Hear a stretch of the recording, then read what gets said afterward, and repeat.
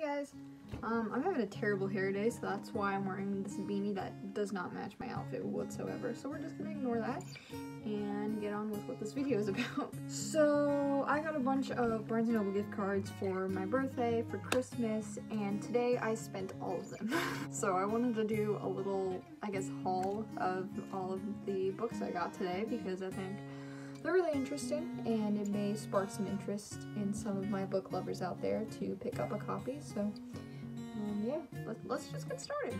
So we got two bags worth of things here.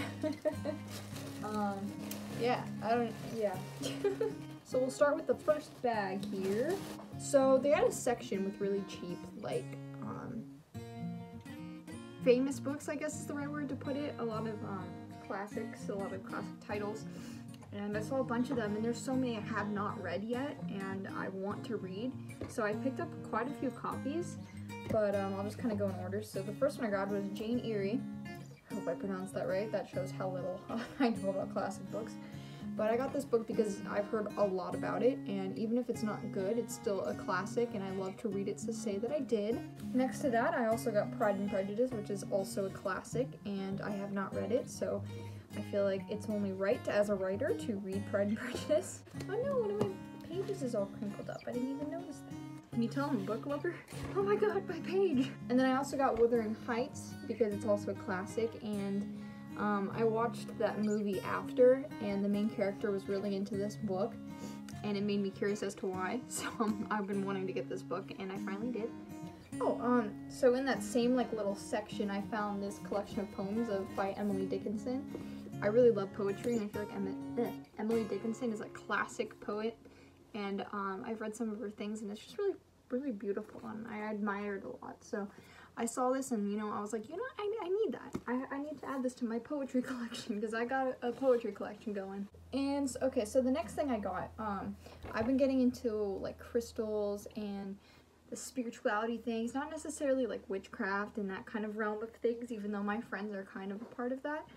I've just been super interested in like crystals and you know those those kinds of things. And I have a bunch of crystals and I always like forget what they're called or I never remember like the names. And so I got this little um like crystal guide. It's like a little handbook and it has like pictures of like the crystals in there.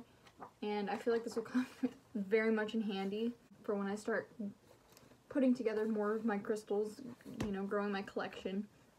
So I wanted to get something that kind of had descriptions of each of these things. So if I forget, like, oh, I, for I forgot what this amethyst is good for, or, you know, yada yada. I'm like out of breath. Dear God, I need to work out. But yeah, so I wanted to get a little handbook for myself so that I know what I'm buying. As you can tell, um, I'm wearing crystals right now on my neck. so that was bag number one. Bag number two, I think I only have two books in here, but, um, okay.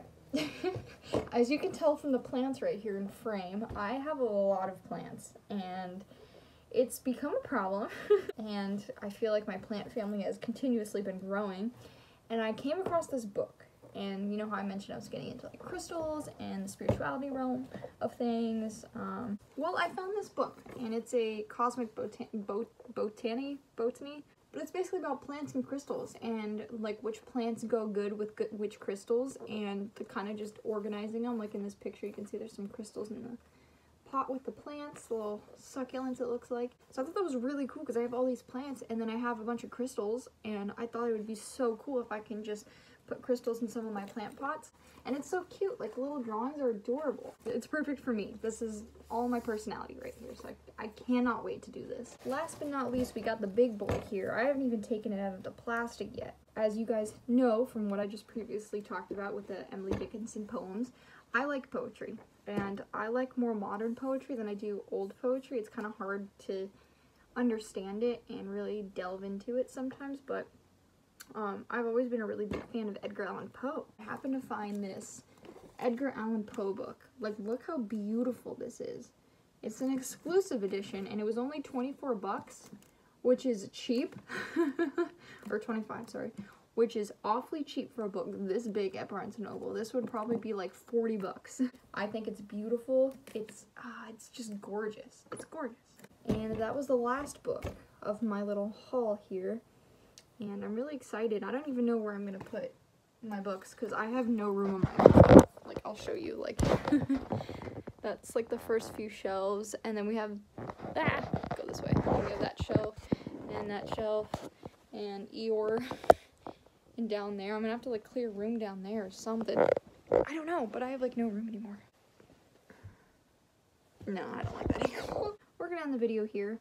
Um, thank you guys for hanging with me and doing this little book haul. Um, I'm very excited to add these to my collection and eventually read them. Thank you guys for watching. I hope you enjoyed this video and I will catch you all on the next train.